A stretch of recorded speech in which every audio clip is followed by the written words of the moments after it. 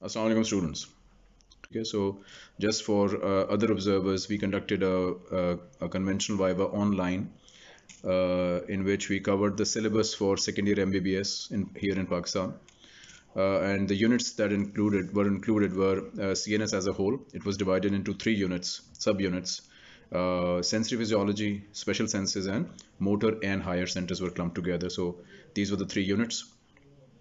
इसके अलावा it was uh, endocrinology, the entire endocrinology, uh, reproduction, um, GIT, uh, and renal physiology. ठीक है? So these were the six units uh, that were divided amongst uh, how many examiners? Uh, uh, about six uh, uh, six examiners, four, three, two, five examiners, five examiners. I just included this uh, for other observers uh, who may uh, want to see this video. So uh, a total of five examiners took this Viva. The roll numbers were randomly distributed by uh, lottery method. Uh, so I got about 18 students, and uh, two of whom did not show up. Uh, so 16 uh, basically were the were the total tally of students that I that I took Viva off. We logged in from our homes. Um, we used Zoom software, and it was a one by one Viva. Uh, we did not do the game show variety that we did for first years. Uh, this one was uh, conventional due to some logistic and um, departmental um, realities that we had to face. Some of the people were not well, and game show uh, format requires uh, more faculty than the conventional format.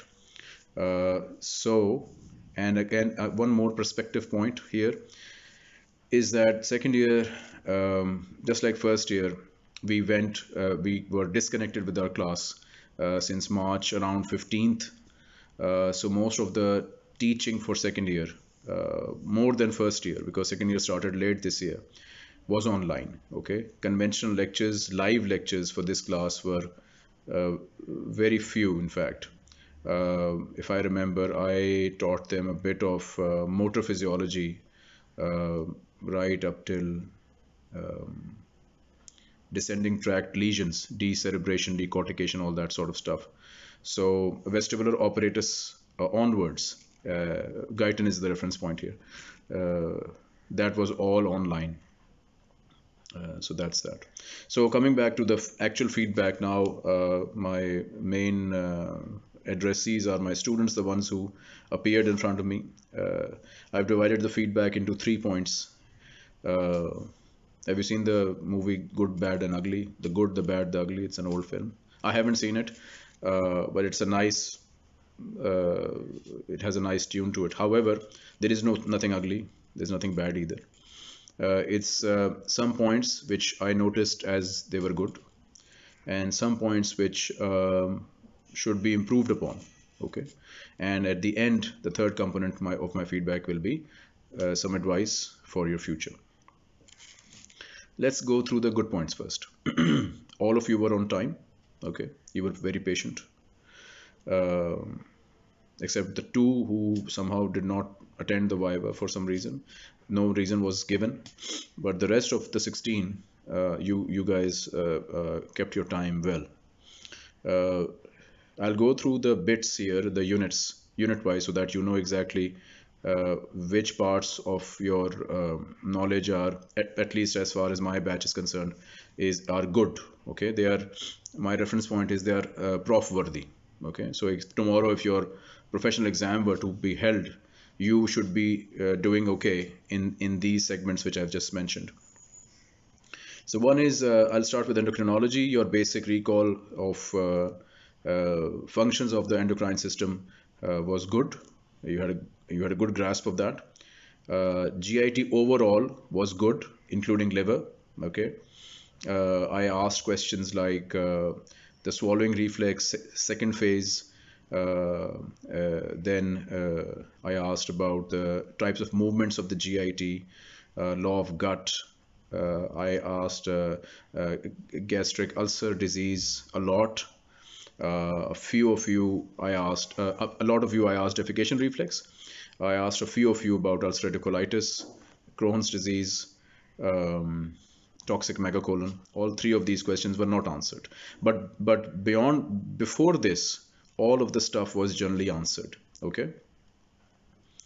Uh, in motor CNS, uh, muscle spindle innervation was was uh, reasonable. Okay. Um, not much uh, on, in in this list for motor physiology. It features in the next segment, so you you understand what I'm saying here. Special senses, surprisingly, surprisingly, uh, the, the reason I say surprisingly is because sensory was good. It was it was all right. A few students were not on the same page as the rest of you uh, about sensory system. I asked questions like basic questions like receptor potential, why is it called graded potential, labeled line principle. I asked a lot of you, almost all of you. Uh, uh, phantom limb syndrome was one of the frequent questions. I asked uh, uh, pathway for pain. Then I asked why is fast pain easily to localize and chronic isn't. Um, some of the students I asked the affective portion, the mood altering uh, uh, action of pain. Why why was that the case? Fewer responded on that. Uh, I think nobody answered that actually, or maybe one of you. Okay, but pathway of pain was fine. Um, localization question was uh, patchy. Some of you answered it very well. Some of you were not.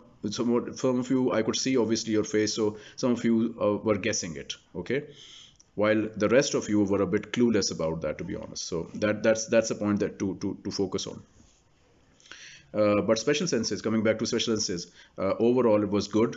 Uh, I, I questioned you mainly uh, in eye I, I I focused on errors of refraction. Uh, I looked at accommodation uh, color blindness um, some questions related to retina then um, what else was there? In in in ear, I asked about impedance matching, attenuation reflex, organ of Corti, um, and deafness. The tests for uh, bone and ear conduction, the def, uh, tests for deafness. Most of the questions were around these lines, and and you were you were you were good. Uh, you recalled well, and and that was nice the things that did not go very well uh, uh, and again look this is not personal uh, i.e it's not a customized feedback. This feedback is basically uh, an overall pattern which i you know the taste that le- it leaves in your mouth after you've had your meal that that taste. So that taste is what i'm trying to share with you. So the overall impression that i have so uh, the the the not so uh, good parts uh, were well. Those two were absent. Though Those two students were absent. I I was not notified. Uh, I still uh, await their explanation. That's not good, especially in the backdrop of COVID and us not, not having these. Uh, this was the prob- This was the first Viva actually in eight months.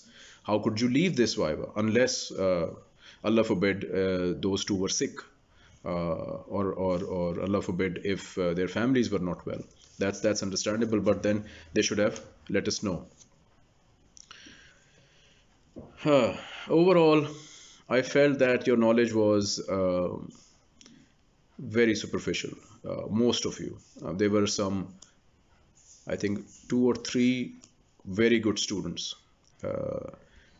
but the rest uh, was like I you know you know we can tell uh, you think we can't but but we can we can tell that you have studied very strategically for this exam and that you are just bare minimum floating on the surface in many uh, areas of your syllabus. So I'll start with endocrinology. As soon as I would go beyond the function part, so simple recall based question on functions, this, that, the other. Although I seldom ask those questions. I started with class typically hyperthyroidism and hypothyroidism, the difference between them. I asked most of the students, how would you differentiate between the clinical presentation of the patient?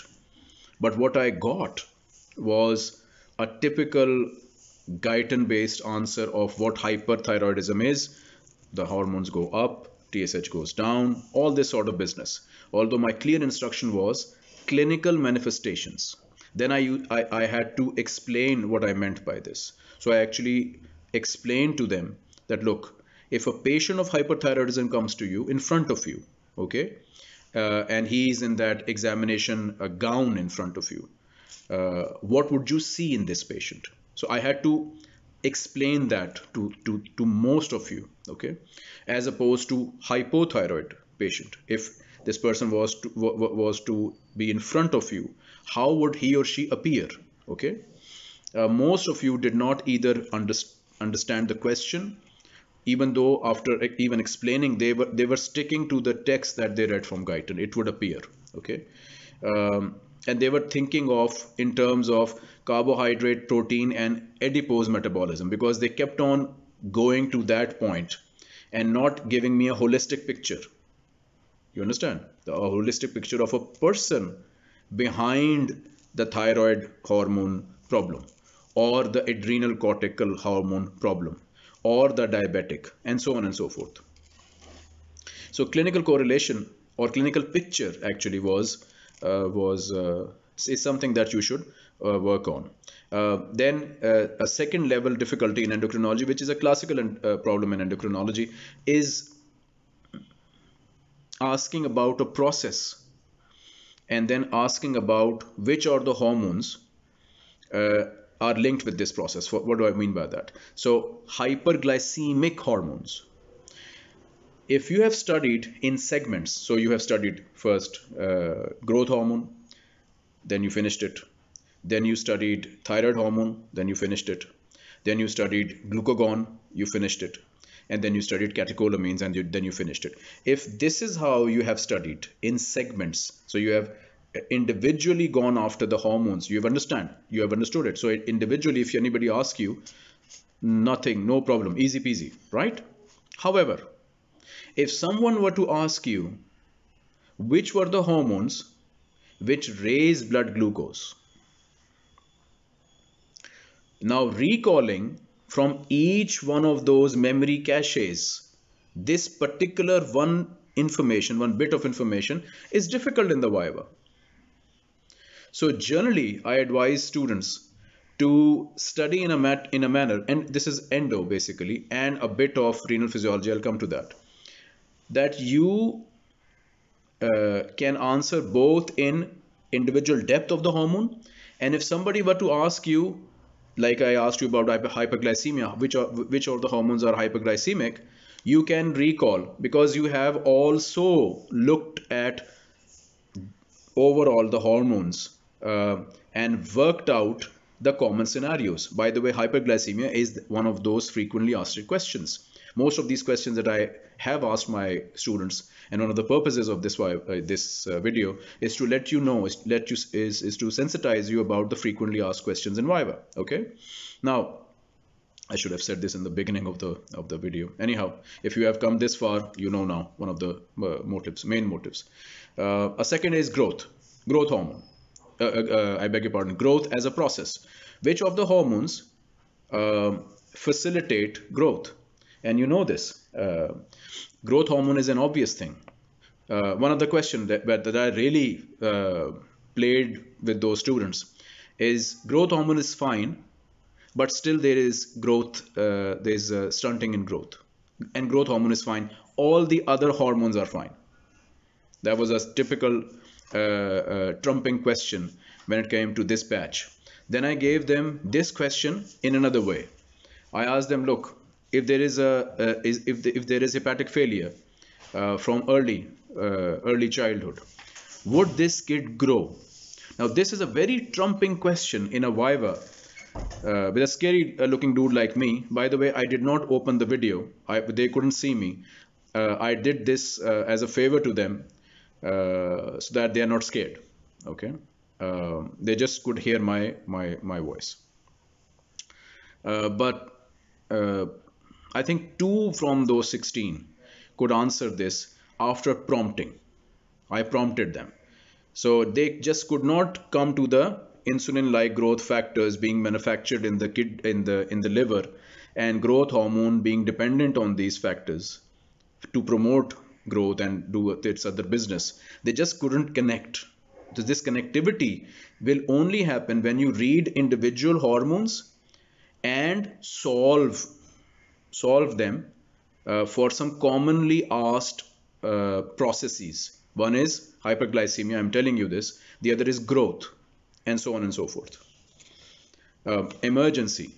So which of the hormones get released in emergency? Not just catecholamines. Cortisol also gets released in, released in emergency. Okay. Uh, uh, another uh, question it was glucose tolerance test.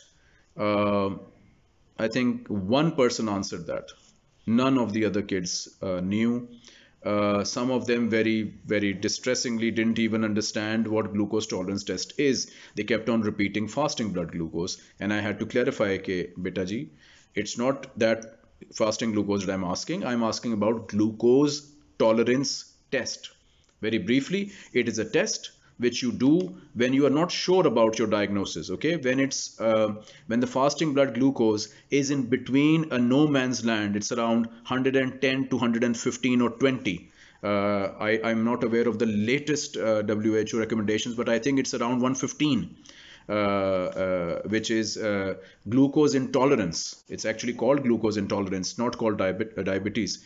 so if the chap has uh, good solid symptoms of diabetes and but his uh, fasting glucose is coming around this no man's land area then you go for a for a glucose tolerance test okay gtt people didn't know that. Metabolic syndrome which is one of the main issues especially in your age group uh, of uh, diabetes becoming almost a pandemic um, linked to obesity fast food uh, consumption obesity metabolic syndrome diabetes okay? So this metabolic syndrome also did not fetch a lot of answers okay? Then I come to motor physiology. Motor physiology uh, I taught myself. Uh, unfortunately we we were cut off uh, because of COVID. Initially uh, we took an initiative on our own the department and we started our own online thing. Uh, I would say we struggled with online because it was it was online but it wasn't really online uh, uh, these these videos I, I thought of later on. Uh, initially, what I used to do, and I, I am sorry for for all my students who had to bear with this, I just used to send them my um, PowerPoint presentation lecture and uh, thought they would be good enough, studious enough uh, to go through them, then go through the textbook, correlate, and then ask me questions and, and I was always there on WhatsApp and whatnot. But guess what? No questions came. So probably what happened, which I by the way confirmed in the Viva, they never really did the due diligence. Uh, I, I, really wonder if they even went through my lectures. Um, uh, and if you only go through the textbook and that too at the the D-Day, just before the D-Day, you are in trouble. Obviously, you are in trouble. These are um, huge chunks of information and they have to be uh, delivered yes in a certain way but they have to be studied also in a certain way so i think that was that explains uh, uh, to a certain extent uh, why motor physiology was the weakest in this batch okay um, uh, I think uh, we messed up as a department by only relying on PowerPoint presentation and your good sense. Okay, we, we failed because of that. Uh, but later on, I tried to uh, patch it up with uh, videos. I think videos are available from hypothalamus onwards, um, or, only hypothalamus actually. Okay, I will try to do some videos on the crucial bits, the difficult bits of motor physiology, inshallah, if I get time. So that was that. Um, cerebellum was region-wise function was not known, which was not good enough. So people didn't people knew the anatomical uh, structure, anatomical division of the cerebellum, but they but when I put them to the function of each, uh, so I asked them about cerebrocerebellum. A lot of funky answers came out. Uh, some said that it's uh, connected to, as in physically connected to the cerebrum. I think one of one of one person said that. Uh, but later on it adjusted that it has to and fro connections with the cerebrum and that was that but uh, I think nobody answered what cerebrocerebellum actually did what the function of it was spino and flocculo uh, uh and vestibulocerebellum uh, was answered well however cerebrocerebellum uh, since it had connections with cerebral cortex, and I think cerebral cortex is your is your weak point. Uh, so that was a problem. Okay. Uh, uh, one or two good students uh, who I thought were good students. I started with memory, and they could only answer uh, the memory related information given in Guyton. Uh, so they probably didn't go through my lectures, which is integrated with Ganong. Uh, so declarative memory, for example, they didn't know. Okay, they only knew the short term, med medium term, and long term, which is typically given in Guyton. So that can also uh, uh, be enhanced.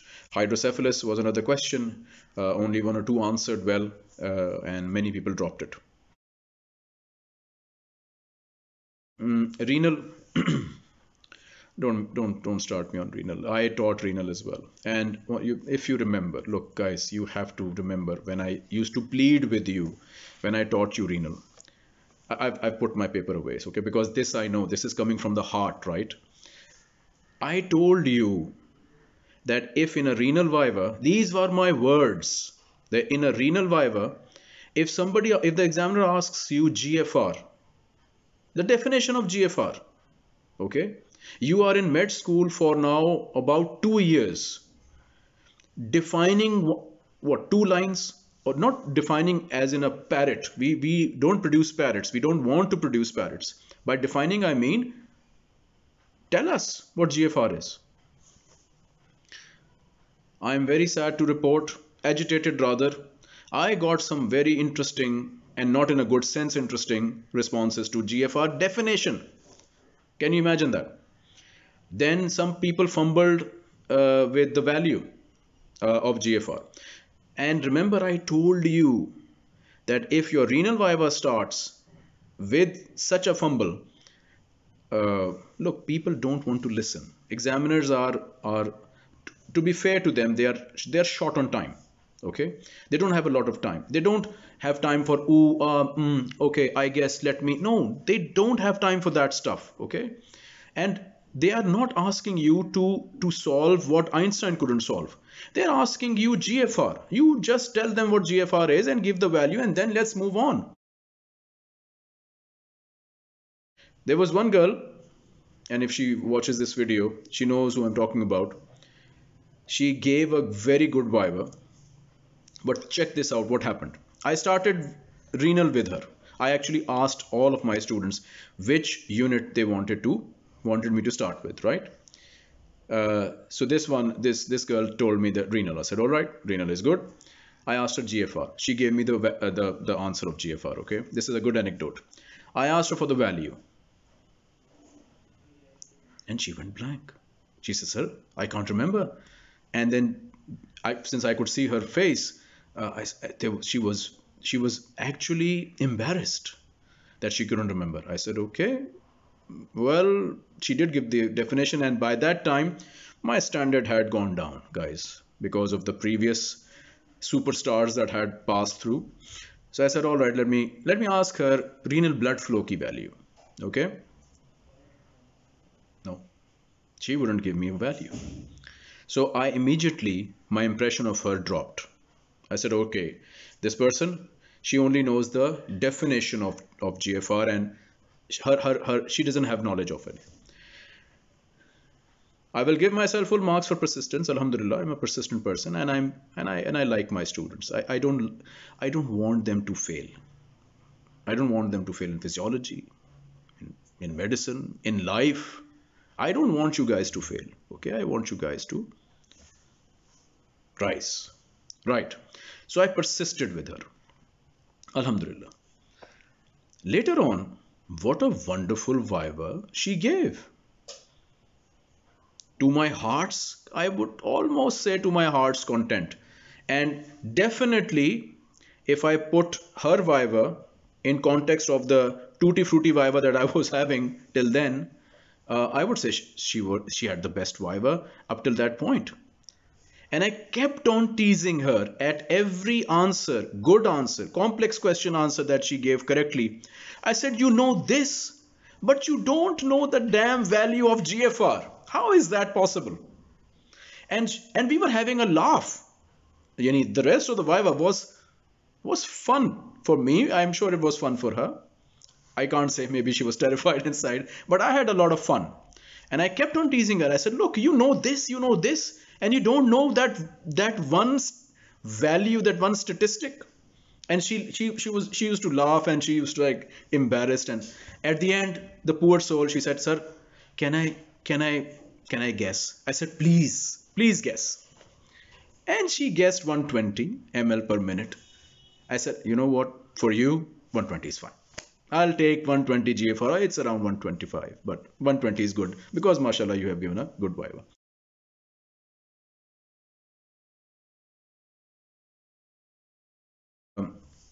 Overall, last point is overall, I think recall based facts uh, were all right for your for this batch overall. Uh, however, as soon as I moved off road um, to an analysis or any clinical orientation, um, people were getting uncomfortable and that's not good to know because you're an outgoing class um, breaking news for you you'll be starting your uh, hospital rounds uh, next year inshallah inshallah hopefully covid will go down so guys hyperthyroidism will not come as a book it will come as a patient okay so you have to be comfortable with that um, what else future advice please depend on one person for your studies. You know who that person is? You. Depend on yourself. Self-study, bete. Self-study. Sits flesh. Sit in one place for crying out loud. Read, study, watch, listen, discuss. Very, very important for you. Metacognition is another uh, term that I'm using today. You need to know yourself cognitively. You need to know what works for you when in during the entire day what is the time when you are most receptive to studies okay? Don't just run yourself under the bus. Diagnose yourself for god's sake. What are your studying habits? How do you study? Is audio visual your thing? Is reading your thing? Is listening your thing? Uh, different different people learn different way. Diagnose yourself. Know thyself as they say. Know yourself. Uh, COVID is here. I have to report this to you. COVID is here for a while. Maybe this online uh, way is the way to go, at least for maybe a year. I really hope and pray that it's not the case. Uh, that we are there to spoon feed you everything. Okay? But seriously, uh, I think the world has changed. And probably it will, it has, from the academic point of view, it has changed forever so this online thing will be used i think in the future as well it's not it's it's a good thing uh, it's a good augmentation to learning and teaching and assessment um, i will be posting more assessment linked videos uh, from now on till your prof comes. So stay tuned inshallah